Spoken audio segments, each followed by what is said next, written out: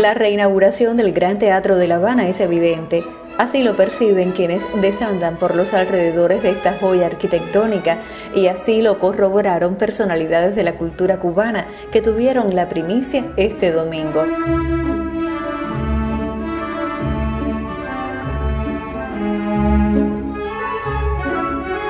Bueno, estoy todavía reconociendo donde estuve, porque ha quedado bellísimo. Y creo que es muy merecido para todos los artistas que se muestran las nuevas generaciones, las más viejas, y que tiene varios espacios, no solamente el escenario, y es bellísimo. Gracias al Ministerio de Cultura por el empeño, gracias por en medio de tantas necesidades dedicar tanto dinero a restaurar y a salvar el patrimonio nacional. Creo que esta es una conquista de una Habana que nosotros nos merecemos. Una, una Habana que hemos querido tanto que merecemos que esté glamorosa y bella como, como lo es el Gran Teatro de La Habana.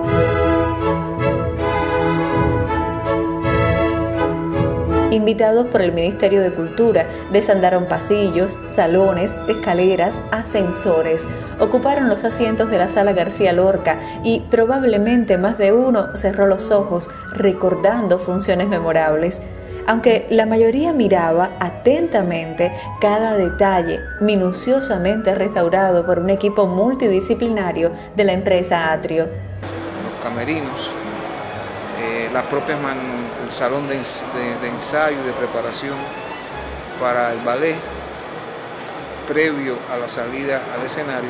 Yo creo que todo eso desde luego contribuirá a que los artistas se sientan muchísimo mejor trabajando aquí y que por consiguiente el espectáculo que brindarán para los espectadores va a ser seguramente de mucha mayor calidad. Y lindo estar aquí en este gran teatro, Alicia Alonso ya, que como oíste los aplausos en la sala, bien, muy bien merecido lo tiene. Gran Teatro de La Habana, Alicia Alonso. Así será llamado en lo adelante y nadie pone en duda la autenticidad de ese nombre. Pero esta joya de la arquitectura acogerá también a obras de teatro lírico, de la danza y reserva un espacio expositivo para las artes plásticas. Una suave y humilde vanidad. Esto es una cosa de verdad, es un, es un honor, un mérito y que compromete uno también a en las próximas inauguraciones tener mejores obras que las que tenemos aquí. No todos estaremos esa noche inaugural para disfrutar los tres fragmentos escogidos del ballet Giselle, El lago de los cisnes y Copelia.